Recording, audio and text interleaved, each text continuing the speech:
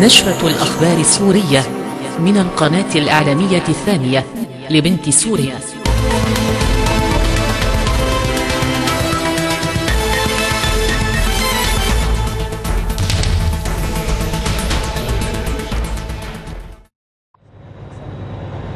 الحرب على سوريا. معارك تتواصل بين الجيش السوري والمجموعات المسلحة.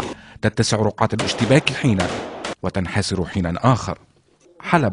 وفيها المعركة الكبرى حيث سيطر الجيش السوري على تلة وثكنة الدفاع الجوي الاستراتيجية في منطقة الشيخ نجار شرق حلب بعد استهدافه لتجمعات المسلحين في محيطها.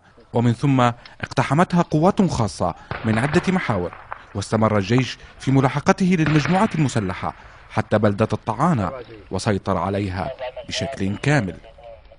ريف اللاذقية. لا يزال صوت الاشتباكات فيه عاليا حيث يتابع الجيش السوري تقدمه باتجاه منطقة الكمين الشرقي المطلة على بلدة ربيعة والكبير فيما تستمر الاشتباكات في محيط جبل النسر الذي يشرف على النبع المر والحدود التركية. القضاء على الإرهاب في أي منطقة سوف ينعكس ايجابا على عملية محاربة الإرهاب على امتداد الأرض السورية وامتداد محور المقاومة أيضا، لذلك انتصار الجيش العربي السوري وعملياته في آه، منطقة آه، شمال اللاذقية في منطقة كساب هي استكمال للخطة التي يقوم بها الجيش العربي السوري في ضرب الإرهاب والقضاء عليه. استهداف المدنيين يستمر في أغلب مناطق دمشق حيث سقطت عدة قذائف هاون في محيط ساحة الأمويين ومنطقة الجمارك وعلى منزل بالقرب من حديقة جاحظ ما خلف إصابات بين المدنيين وأضرارا مادية. في ريف دمشق وأطرافها يواصل الجيش السوري ملاحقته للمسلحين ضمن سلسلة من العمليات ضد تجمعاتهم في قرى الغوطة الشرقية والريف الغربي وجوبر وبلدات القلمون. يستمر الجيش السوري في عملياته العسكرية في جبال القلمون في ريف دمشق. عمليات وصفت بالدقيقة نظرا للطبيعة الجغرافية الخاصة للمنطقة التي فرضت نوعا خاصا من القتال. حسام زيدان العالم من جبال القلمون ريف دمشق.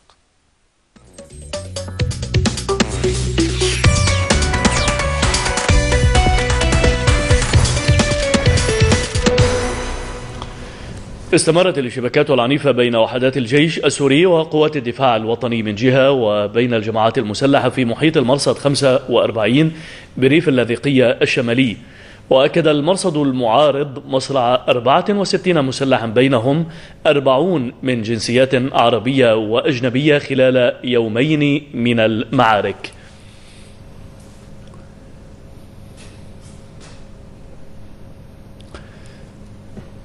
أعلن وزير العدل الكويتي نايف العجمي تقديم استقالته من الحكومة وذلك بعيد اتهامه من قبل الإدارة الأمريكية بدعم الإرهاب. خضع وزير العدل الكويتي نايف العجمي سريعا للضغوط الأمريكية وقدم استقالته وذلك بعدما اتهمته واشنطن بدعم الإرهابيين في سوريا وخصوصا جبهة النصرة. وفيما أشار العجمي في حديث لصحيفة الرأي الكويتية إلى أن تقديم استقالته جاء نتيجة مشاكل صحية يعاني منها قال إن الحكومة ستبت بالأمر يوم الأحد. والعجمي ينتمي إلى ما يعرف بمجلس الداعمين للثورة السورية في الكويت الكويت وقدم مساعدات عينية ومالية إلى مناطق تسيطر عليها المعارضة المسلحة ومن بينها مساعدات عسكرية في إطار ما سمي بحملة النفير لدعم المجاهدين في سوريا كما تم اتهام العجم من قبل سياسيين كويتيين بدعم الإرهاب. وكان مساعد وزير الخزانة الأمريكي المكلف شؤون الإرهاب والاستخبارات المالية ديفيد كوهين أعلن في وقت سابق أن اختيار العجم لمنصب وزاري وزاري خطوة في الاتجاه الخطأ مذكرا بأن للعجم ماض جهاديا في سوريا وقد جمع أموالا لصالح جبهة النصرة. ونعود إلى التطورات الميدانية في سوريا وخصوصا في ريف دمشق مع مراسلنا هناك سومر حاتم. سومر أبرز التطورات الميدانية في ريف اللاذقية نعم سهيل يعني في ريف اللاذقية تتواصل العملية العسكرية التي يقوم فيها الجيش السوري لاستعادة بعض المناطق الحدودية التي دخلتها مجموعات تتبع لجبهة النصرة ومجموعات أخرى من الجبهة الإسلامية. طبعا آه الجيش السوري الذي قطع الشك باليقين لموضوع قمة الخمسة وأربعين الاستراتيجية وكان قد زارها رئيس أركان الجيش السوري العماد علي أيوب آه والجيش الذي أصبح ما بعد هذه القمة الهامة الجيش الذي يخوض المعارك على ما يعرف بالكمين الشرقي عسكريا وهو الجهة الشرقية من هذا هذه التلة التي تشرف على مناطق ربيعة والكبير التي تعتبر الآن أحد أبرز الممرات للمجموعات المسلحة وطرق الإمداد نحو جبهة كسب بالإضافة إلى استهدافه الدائم لمحيط جبل النسر القمة الأخرى الاستراتيجية المصادر العسكرية تؤكد أنها مستمرة في عملية السيطرة على التلال الهامة وهي فعلا معركة مرتفعات وتلال. آه، سهيل. طبعا المجموعات المسلحة بدأت تنشر آه، مقاطع فيديو وصور لقتلى قادتها وهم من أبرز القياديين في المعارك قتل آه، يعني أمير جند جند أمير جند الإسلام. قتل, أيضا العديد من القياديين الذين كانوا في السابق في غوانتنامو والآن يقاتلون في ريف اللاذقية من جنسيات مغربية أيضا من جنسيات سعودية. وطبعا معظم المقاتلين هم من من جنسيات غير سورية. يبرز الدور أيضا طبعا الدور التركي في التغطية النارية لهذه الجماعات آه، التي تقاتل على آه، على هذه الجبهة، لكن الجيش نعم. الذي يطوق مناطق الاشتباك بشكل تام هذا اليوم استطاع سلاح الجو استهداف عدة نقاط وأرسال للمسلحين في قرى الكبير، أتحدث كانت هناك ضربة قوية في قرية الكبير لرتل للمجموعات المسلحة استهدفها سلاح الجو في الجيش السوري، بالإضافة لاستمرار الرمايات النارية الثقيلة آه، في هذه المعركة التي فعلا وصفت بأنها معركة رمايات نارية بامتياز يعني المواجهات المباشرة قليلة باستثناء اقتحام قمة 45 منذ أيام التي كانت بعملية برية لعناصر خاصة من النخبة في الجيش السوري استطاعوا استعادة هذه القمة الاستراتيجية وتطويق وحصر آه، مناطق الاشتباك وهذا ما يمهد للجيش السوري الدخول إلى كسب في مرحلة لاحقة. طبعا بعد وضوح آه، آه، عدة انهيارات في هذه الجماعات المسلحة لكنها ما تزال تستخدم تعزيزات ويعني توضح أن الاشتباكات ما تزال على أشدها. سهيل والمعركة نعم. مرجحة لأن تستمر أيضا لأيام وربما أسابيع. ما يرجح أيضا استمرار المعركة كما أسلم لافت ما كشفته المصادر المعارضة اليوم عن وصول أكثر من ألف آه، مقاتل من جنسيات مختلفة من الأردن إلى ريف اللاذقية. صحت ذلك سومر. آه آه نعم سهيل يعني قبل أن تبدأ هذه العملية قبل أن يعني يتم الدخول إلى كسب في 21 آذار كانت قد استخدمت المجموعات المسلحة تعزيزات من خارج المنطقة. واليوم تعود لتستخدم الألف بعد حديث عن عبر المرصد المعارض والتنسيقيات. التي توالي المجموعات المسلحة عن أن قتل المسلحين باتوا يعني يقاربون الألف. فربما هي عملية استبدال لمن قتل من المسلحين نعم. وهذه المعلومات قد تكون آه، مؤكدة بطبيعة الحال آه، يعني واقع المعركة يشير إلى وصول هكذا تعزيزات خصوصا كما ذكرت بعد أن قتل أعداد كبيرة جدا من المسلحين وما يزال يقتل خصوصا القياديين منهم. وبالتالي آه، المجموعات المسلحة تعتمد على هذا الأمر والحكومة التركية والجيش التركي يغطي ويؤمن لوجستيا كل هذا الموضوع. لكن الجيش السوري يعني هو بوضوح يعلم هذا المشهد ويتوقع مثل هكذا أمور. لذلك أيضا الجيش السوري منذ اليوم الأول حصن بتعزيزات وبتواجد قوات الدفاع الوطني واللجان الشعبية في تلك المنطقة لصد أي محاولة للهجوم نعم سومر التدخل التركي أنها نعم. يعني تواصل هذه العملية دون الاكتراث كثيرا لكل ما يجري. أيضا تهويله اعلاميا لناحية هذه قدوم هذه المجموعات أو غيرها مما تقوم به المجموعات المسلحة عبر عمليات التهويل الإعلامي لأن واقع الميدان مختلف تماما عما يقوله المسلحون شكل التدخل التركي آه، سومر في ريف اللاذقية هل هو ميداني مباشر أم آه، يعني يتصل فقط بتأمين خروج ودخول المجموعات المسلحة مع سلاحها؟ من اليوم الأول هو يعني تغطية نارية ميدانية لا. نعم. المجموعات المسلحة التي يعني ربما لا تمتلك أسلحة ثقيلة آه، كثير. يعني ربما تمتلك بعض الآليات أو أو ما شابه لكن المدفعية التركية والصواريخ الموجهة التركية شريكة أساسية في المعركة ولم تتوقف. ربما هدأت نسبيا لكنها لم تتوقف. ما تزال النيران الثقيلة التركية تمهد للمجموعات المسلحة تغطي لها عندما تحاول إخلاء الجرحى عبر سيارات إسعاف تركية تغطي لها عندما تحاول اقتحام إلى إلى مناطق يعني استراتيجية. والتدخل التركي هو تدخل عسكري بالإضافة إلى كامل ما تتضمن العملية العسكرية أي أن ما أريد قوله أن الجيش التركي مشترك وشريك أساسي لهذه المجموعات التكفيرية آه، يعني التي كما ذكرت يعني من جنسيات مختلفة. شكرا جزيلا لك مراسلنا سومر حاتم من اللاذقية على هذه المعلومات. رفض وزير الخارجية الروسي سيرجي لافروف الربط بين عقد مؤتمر جنيف ثلاثة لحل الأزمة السورية ورحيل الرئيس بشار الأسد. ورأى أن ذلك غير مقبول وخلال مؤتمر صحفي عقده بعد اجتماعه بوزراء خارجية رابطة الدول المستقلة في موسكو. اعتبر لافروف أن الإرهابيين في سوريا يمارسون سلوكا لا يسمح لشركاء روسيا الغربيين بالترويج لفكرة أن الأنظمة هي التي تؤوي الإرهاب. هناك محاولات عديدة لتغيير النظام وتحدثنا كثيرا عن هذا الموضوع. منذ سنة في قمة قادة الثماني جميعهم قالوا إنه يجب على الحكومة السورية والمعارضة الوطنية توحيد الجهود لتخليص سوريا من الإرهابيين. يجب مكافحة الإرهاب قبل أي شيء آخر. المطلوب عقد مؤتمر جنيف ثلاثة وربط انعقاده برحيل الرئيس السوري بشار الأسد أمر مرفوض. بدوره أعلن المتحدث باسم الخارجية الروسية ألكسندر لوكاشيفيتش الاتفاق على أجندة الجولة الثالثة من المفاوضات بين الحكومة السورية والمعارضة.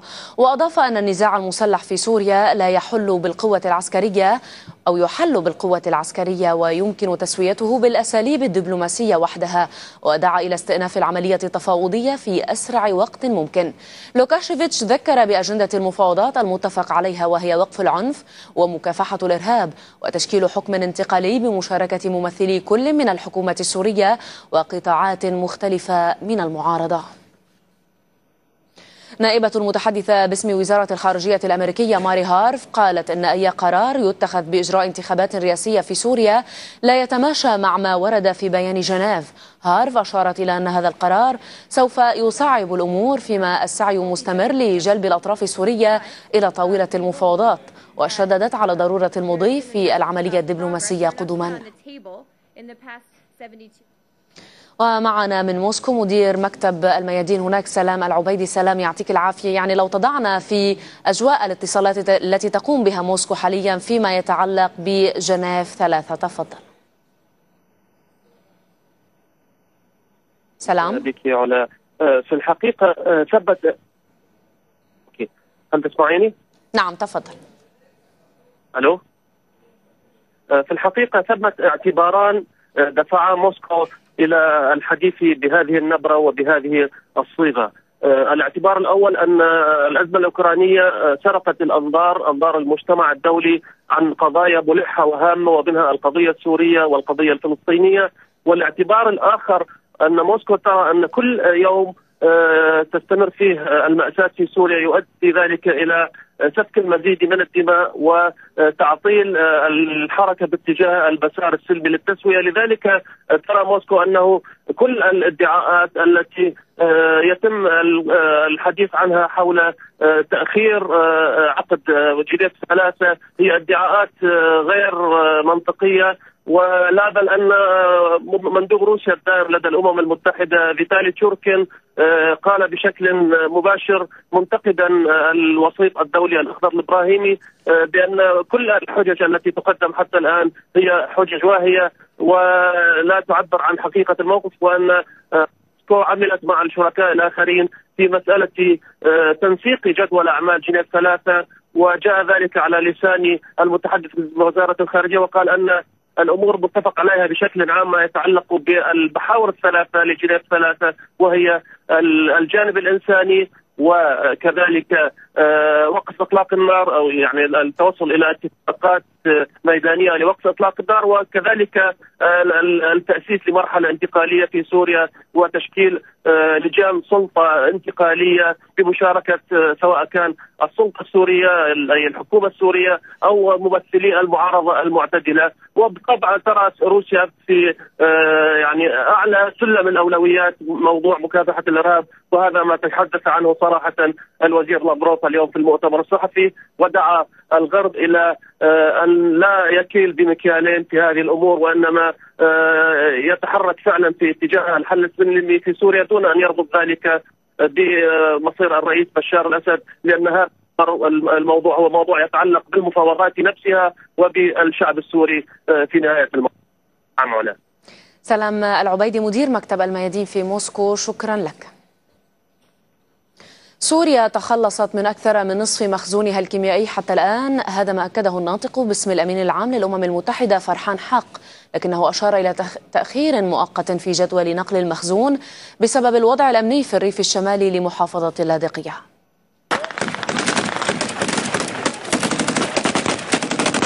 معارك اللاذقية جمدت عملية نقل المواد الكيميائية خارج سوريا. رئيسة البعثة المشتركة لحظر السلاح الكيميائي سيغليدكاغ ترى أنه بإمكان الحكومة السورية التقيد بالجدول الزمني لتدمير هذا السلاح. احتدام المعارك يصعب إتمام المهمة هذا ما أكده نائب المتحدث الرسمي باسم الأمين العام للأمم المتحدة فرحان حق وأضاف أن دمشق أبلغته بالتوقف المؤقت للعملية. 56% من المواد الكيميائية تم إزالتها حتى اللحظة. 50% منها نقلت خارج سوريا و6% دمرت داخلها بوجود خبراء من منظمة الحظر والأمم المتحدة. سوريا تؤكد التزامها. ترجع التأخير في إتمام العملية إلى مخطط إرهابي لاستهداف السلاح الكيميائي. هذا ما كشفه مندوبها في الأمم المتحدة قبل أيام. الجعفري أعرب عن خشية بلاده من قيام المسلحين باستهداف حاويات معبأة بالأسلحة الكيميائية بالهاون. لحظة شحنها على متن السفن في ميناء اللاذقية. المخاوف السورية من هذا المخطط أخذتها روسيا على محمل الجد. وزير خارجيتها أكد أن موسكو لديها معلومات عن تدبير مسلحين هجمات تستهدف عملية نقل الترسانة الكيميائية.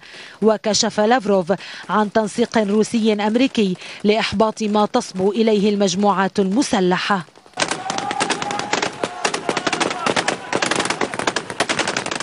ميدانيا أصيب عشرون شخصا بجروح جراء سقوط قذائف هاون على حيي باب توما والقصاع في دمشق. وفي ريف اللاذقية وصلت الفصائل المسلحة نعي عدد من قتلاها وقياداتها الذين تنوعت جنسياتهم. المسلحون سقطوا بنيران الجيش السوري في بلدة كسب وسائر خطوط الجبهة في ريف اللاذقية وواصل الجيش السوري استهدافه مواقع المسلحين في قرى غمام والكبير وجبل الكوس في الريف الشمالي للاذقية فيما تركزت الاشتباكات على محور النبعين جنوب غرب كسب وجبل تشال مغربها رد وزير العمل اللبناني سجعان قزي على كلام الأمين العام للائتلاف الوطني السوري المعارض بدر جاموس الذي طالب الحكومة اللبنانية بوقف ما سماه الممارسات العنصرية ضد اللاجئين السوريين في لبنان. قزي وصف كلام جاموس بنكران الجميل. أولا أساسا أنا لا أعترف به. أه وعوض أن يتحدث عن لبنان لو يبذل جهدا لتوحيد المعارضة عله يحقق آه، كيلومتر آه، في آه، ثورته وفي معارضته على الأرض. عوض أن تتراجع المعارضة كل يوم. وكلامه هو نكران جميل للدولة اللبنانية وللشعب اللبناني. وأنت تعرفين أن في كل بيت لبناني يوجد نازح سوري. في القرى المسيحية في القرى الإسلامية في القرى الشيعية في القرى الدرزية في القرى المارونية. في كل منطقة من لبنان يوجد نازحون سوريون ولم نشعر بضيق تجاههم ولا إلا إلا بالأسى وبالتضامن وبالمساعدة. ولكن إذا كان بينهم مقاتلون وبينهم إرهابيون وبينهم تكفيريون فعلى الدولة أن تقوم بواجباتها. م. وإذا كان مجلس التنسيق الثورة غير راض على هذا التصرف اللبناني فما عليه إلا أن يسحب النازحين من لبنان.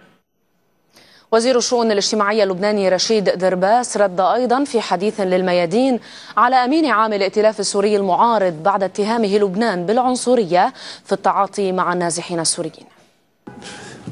بدي لك هذا الكلام عنصري.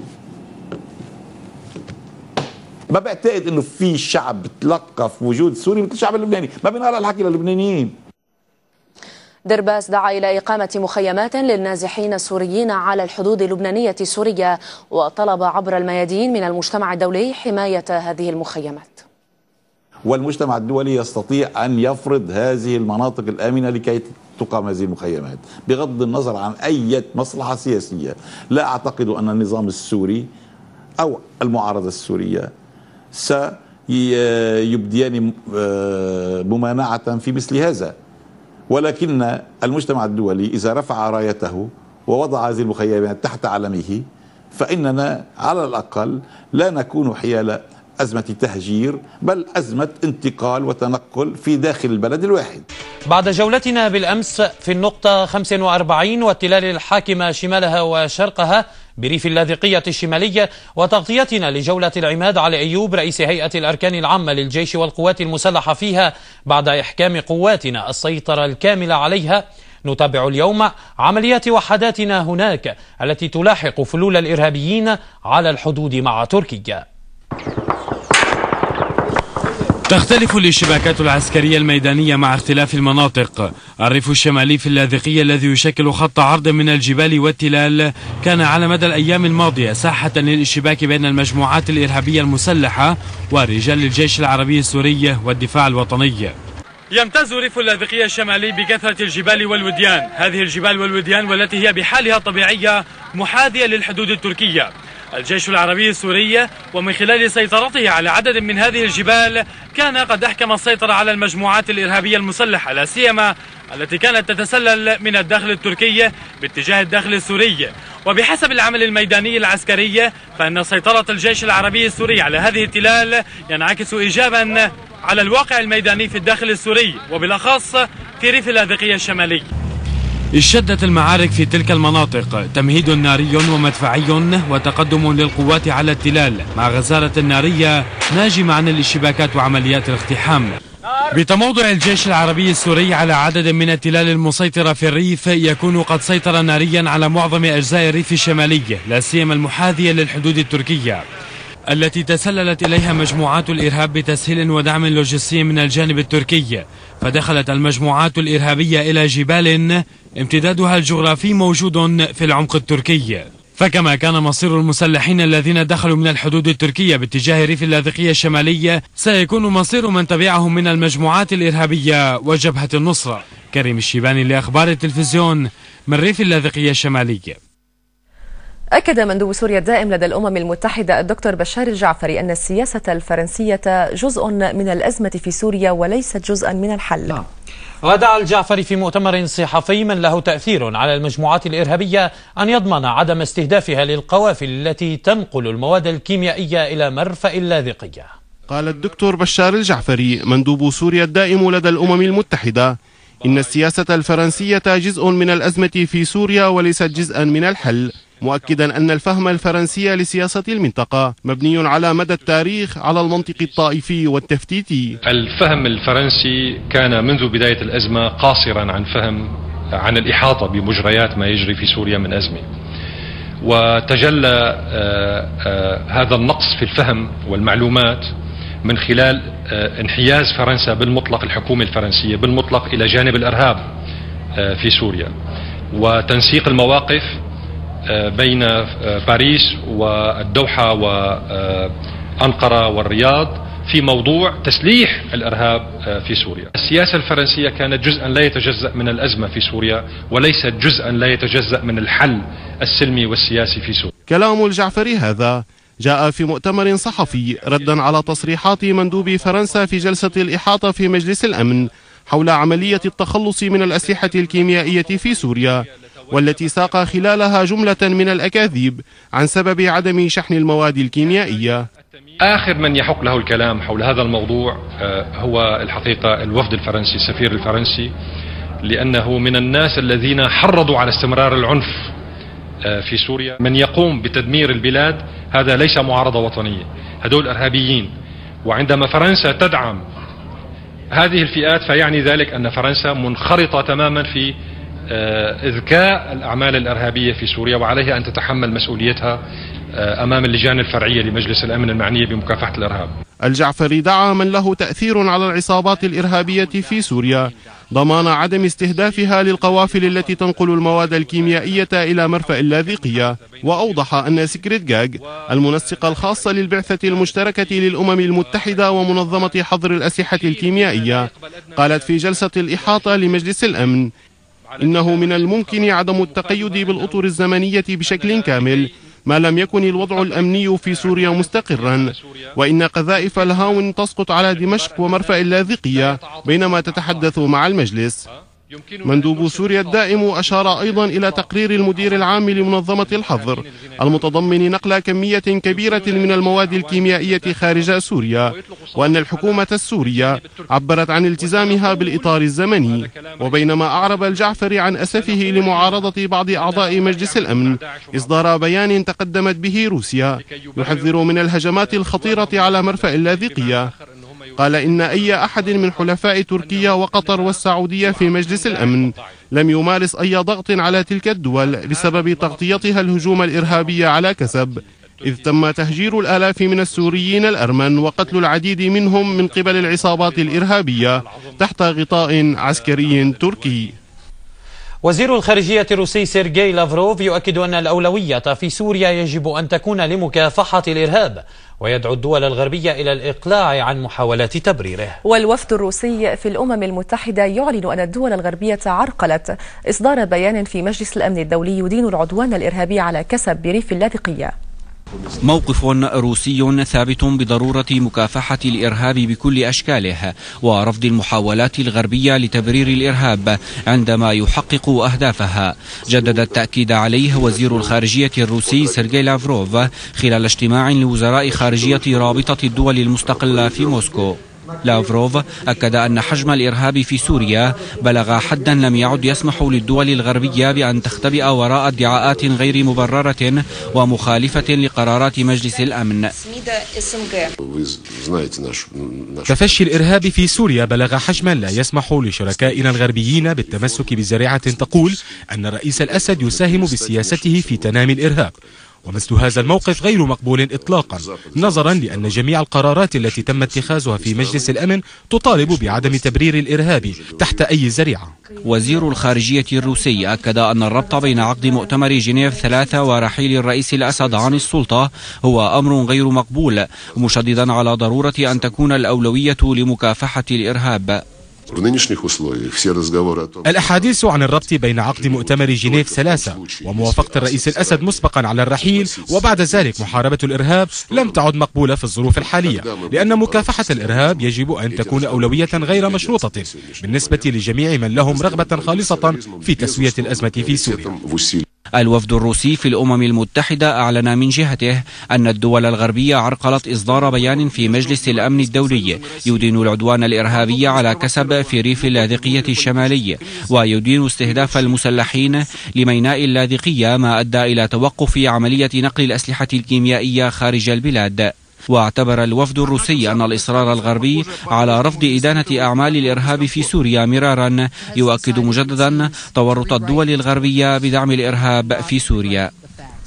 إيغور كوروتشينكو الخبير في الشؤون العسكرية الروسية ورجب سفاروف المدير العام لمركز دراسات إيران المعاصر أكد أن تركيا تسلك مسلكا عدائيا واستفزازيا ضد سوريا. لن يؤدي بها ذلك إلى أي نتيجة سوى المشاكل لشعبها.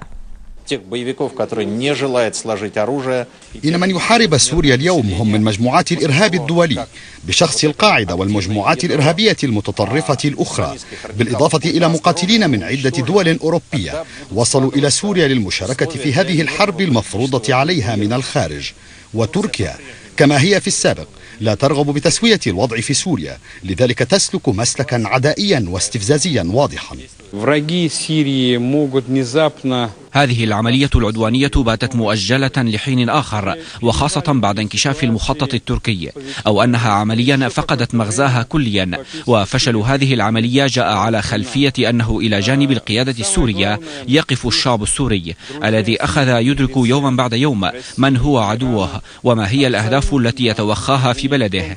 والآن يلاحظ أن الوضع اجتاز نقطة الانعطاف وبعد فترة وجيزة سوف تشاهد سوريا وهي محررة كليا من رجس الإرهاب.